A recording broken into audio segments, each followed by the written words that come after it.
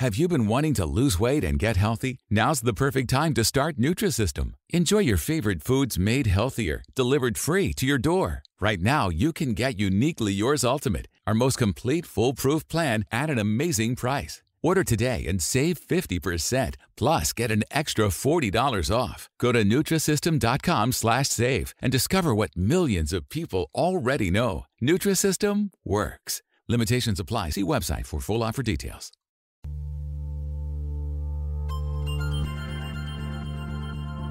One in four women and one in six men are survivors of sexual abuse or assault. That means you or someone you know has survived an external and internal battle for your soul, which most often no one else will ever see unless you tell your story. This is Journey On Survivors Healing from Sexual Abuse and Assault. My name is DJ Burr, and I'm a survivor. I was molested at 16 years old and raped at 18. I didn't know what surviving looked like back then, but I do now. Join me as I talk with survivors and hear their experience, strength, and hope on the road to recovery recovery. Hear our stories and share your own. You are not alone.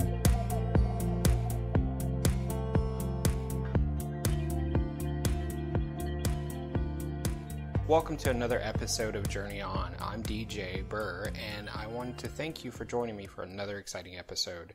Today, I am speaking with a colleague and friend of mine. Her name is Liz. Liz, welcome to the show. Hi, DJ. Thank you for having me. I'm so glad that you're here.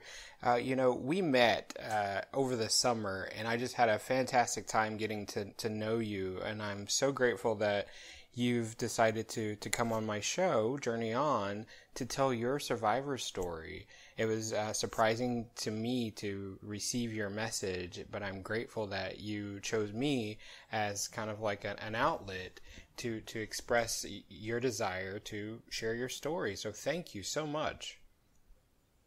You're welcome. Can you tell our audience where you're located?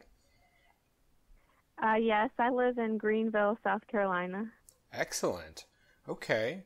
Well, Liz, you know, here on Journey On, we talk about our experience, strength, and hope as it's related to recovering from sexual abuse and assault. And so I want to give you the floor and let you tell our audience uh, what you wanted to share. Okay, sure.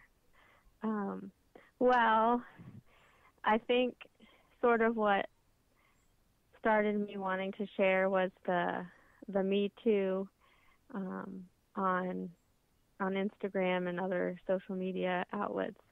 And uh, I do have my own therapist who I go to and talk to about my past and current anxiety. And um, she you know, was supportive of me uh, talking about it and excited for me.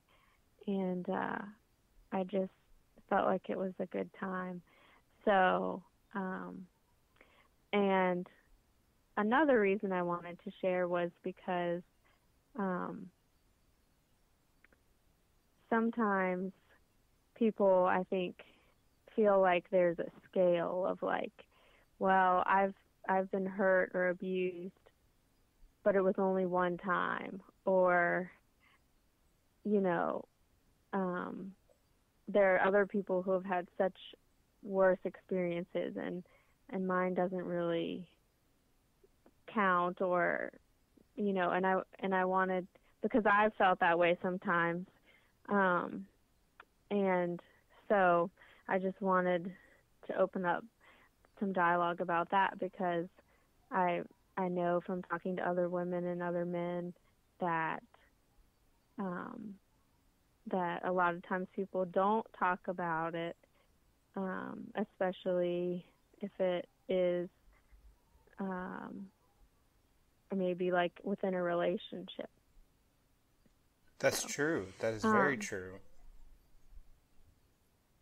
Yeah. So yeah, when I was in in high school, I um uh was dating someone and he sort of had the bad boy reputation and I was um the the little uh saint no going to church all the time and um wanting to to wait until I was married um to have sex and um, we met in in a class in, at in high school, and I was the the helper type, um, which makes sense going into the counseling field, and uh, so I thought, you know, I could could fix him and help him and heal him and all of these different things, and so um, so we started dating,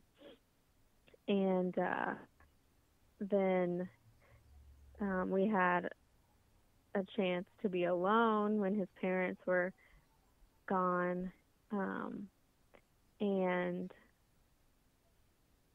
we just like drank a little bit of wine and um, we ended up going upstairs. And I just I wasn't ready, but I didn't you know, I was afraid. I I I thought, well, he knows what's best for me. Um, I guess I trusted him so much and I was like, well, you know, I just didn't want to to say no and to um to cause any sort of rift between us. And you know I didn't want conflict. And so you know we we started to have sex and it was very painful. And and th- and then I did say no you know I said no no. Um but he didn't stop. And um so that was that was really difficult because I lost a part of my identity um, because I had wanted to to uh, to remain a virgin and um, and so it was it was definitely a hard time and it happened I I can think of at least one other time um, early on in our relationship. Um, and so my current work with my counselor has been about um, finding my voice and um, sticking up for myself and feeling comfortable sharing my opinions. Um, and so that that's sort of it in a nutshell. Wow. It must have been a really scary time for you, especially knowing that what your values were and and also when you said no, right? And he didn't listen. Right. So yeah. I'm curious after that after that incident happened, were you able to turn to anyone for help right after? Well, no, I um I didn't feel comfortable telling my friends or my my family. And uh so um so we continued to date and uh it was a, a interesting dynamic. But um you know yeah, I yeah, I um I remember one time crying in the shower and my mom heard me and and she was worried about me. She said, "Oh, I thought something happened to you at school today or something that that someone had hurt you." And I said, "No." You know, I um it was, I almost didn't I guess I felt ashamed about it or I just I'm not sure, but I didn't really even think about about sharing it. I think a lot of people have that experience. Uh, the shame, um, I can relate to the shame and being overwhelmed by it, and then not knowing what to say or do. And so I, mm-hmm. I, I mm-hmm. think that makes sense, and I think our listeners could understand you know, not being able to say anything in that moment. When did you start mm-hmm. talking about it? Um, well, like to who? well, to friends or family. Did you make a, a police report? Was it anything official like that? Right. No, there was no re- report. Um, we continued to date, and you know, we tried to work through things in our relationship, and uh, we actually dated for a long time. I mean, for almost two years um, after that, and uh, um, I'm I'm a big proponent of forgiveness, and so um, we were able to to heal in a lot of ways. Um, but ultimately, I decided to end that relationship, and uh, um, and so I yeah, it was something that I didn't talk about for a long time. Um, Did you and he ever have a conversation about it? I don't remember. yeah. Um, I don't remember having a, a serious conversation about it. A couple months later, um, it was actually when September 11th happened. He, I found out that he had cheated on me. Oh man. And and so I think I just got so caught up in that that you know that sort of where all my my pain went to and uh and I did get help from my pastor and and different people and um so and that was to help you uh, heal from the you know him stepping out of the relationship and causing harm in that way is that correct right okay yeah.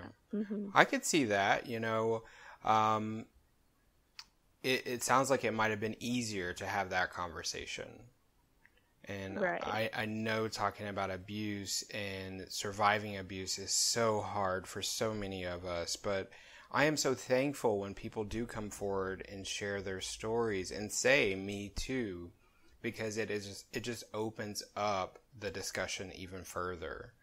And I think that's mm-hmm. what you've done here today is just to say, me too, I understand. Right? Right. It yeah. happens. Yeah. It happens. You know, it doesn't matter what socioeconomic status you come from. It doesn't matter right. know, race. It doesn't matter country. I mean, I have talked to people from all over the world who have had similar experiences. Mhm. Yeah. Can you talk a little and bit? It, oh, go ahead. Oh, it's fine. Well, I was going to ask if you would mind talking a little bit about what it's like now for you in relationship, um, having this be a part of your your story. Sure. Yeah. So, um, it it is difficult. I I I have when I decided to go to graduate school and become a counselor, um, I was required to go to my own counseling, and I had been before a little bit, but um, I decided to talk to my counselor at Clemson about what had happened, and she sort of specialized in domestic abuse and and different, you know, that those situations and and so she helped me work through but it it is difficult uh, in relationships and getting people to understand uh, that uh, there are occasionally times when I will um, like back off or or just have to stop or something when be you know in an intimate situation. And so but also, I mean, the flip side of that is sometimes people are too think that I'm too fragile, and you know are afraid to um, to know what to do. So so it definitely affects um, my relationships. Um, yeah, what I'm hearing is uh, the need for boundaries and communication.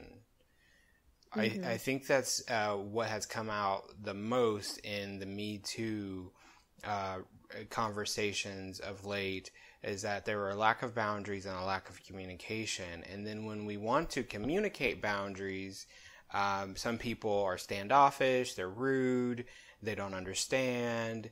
And so, what we really need is just to have a non threatening conversation about intimacy and the types of intimacy. Mm-hmm. And I, my hope is that that's where we're headed, right? I think mm-hmm. a lot of people yeah. are coming forward and saying, This is my truth, this is what happened to me. And, and I also, and I think that's amazing because so many people are coming forward. But I think what we have to do next is to start to have that next level communication of, these are my boundaries and I want to know can you respect them? Right. Right. And for Definitely. and for a lot of people, you know, we all have boundaries and some of those are not stated like it's not appropriate to touch someone without consent. Right? Mm-hmm. And I have to teach people that in my practice. And I imagine that you'll be having those types of conversations with your clients too. And it's just that a right. lot of people just don't know mm-hmm. and that's pretty scary. Mm, I know. Yes, yes, it is. You know, like you said, I, I guess growing up in different situations or in a in a house maybe where there's not a lot of privacy um I can see how those those lines could get crossed or um you know um not being ed, you know educated about um, what is inappropriate and and all those things are important. Yeah, and also what's appropriate. Um, mm-hmm. You know, um, but I my hope is that by doing this podcast, by talking to survivors like yourself, we can have those conversations. And I invite people to, to start having that dialogue as early as you can with little kids. You know, I just recently was asked to do a PSA for the Me Too campaign, and I'm not sure when that's going to be coming out. But one of the things that mm-hmm. I said in that campaign is that we got to start having these conversations when these kids are in school right like right. like elementary yeah. we can't have this conversation at college after you know someone has been hurt or they've been harmed themselves you know exactly it's too late then mm-hmm. so i think yeah. by by talking today uh, we're helping move that conversation along. Is there anything that you would offer as a, a as like a you know an encouragement to to listeners? Something that you might have heard along the way that uh, helped you find peace in all the chaos?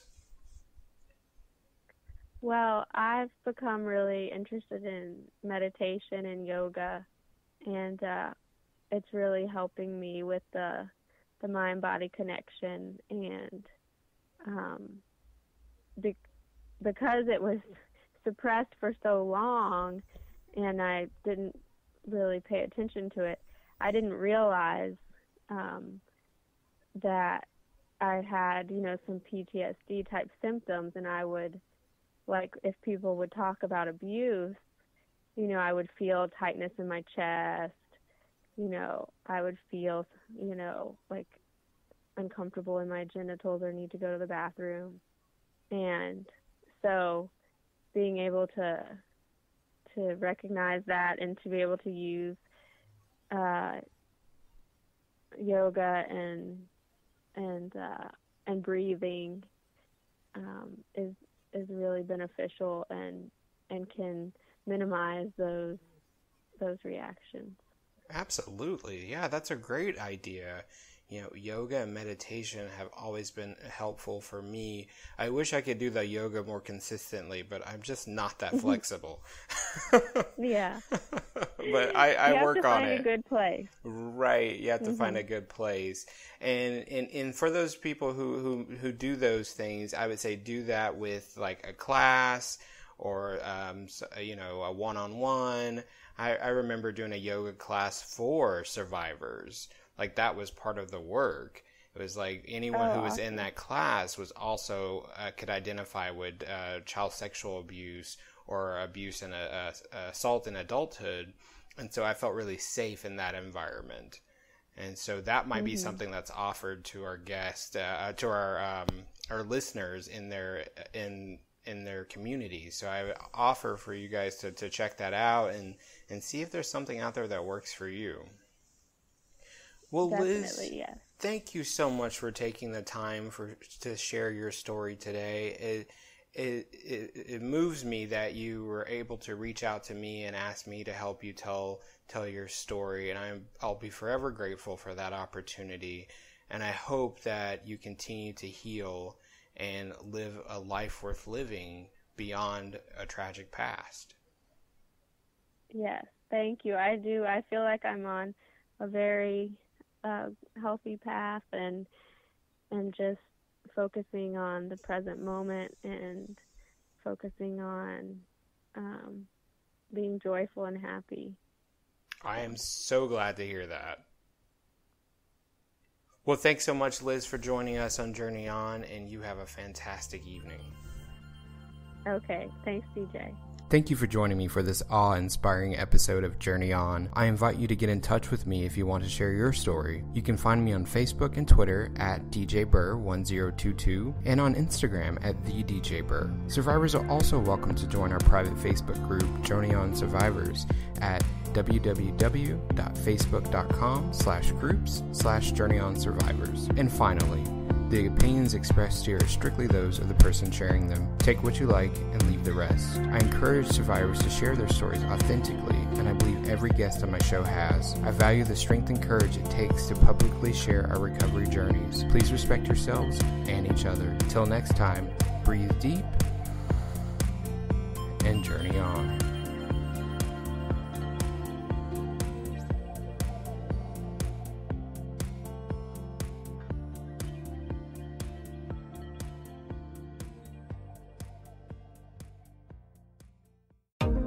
Rule the day the plant based way with the new vegan mixed berry from Smoothie King.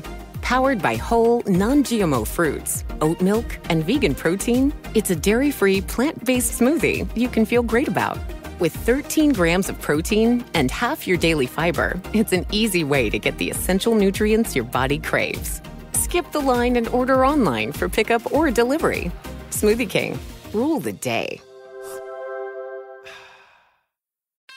Regina King for Cadillac Escalade. Let's say you make it to the top. What's next? Relish in the glory of your accomplishments? Okay, sure, for a minute. But then you move forward. Take the 2021 Escalade. Cadillac's newest arrival is more than just a celebration of iconic luxury. It's the most technologically advanced Escalade ever. Because arriving is just the beginning. The 2021 Cadillac Escalade. Never stop arriving.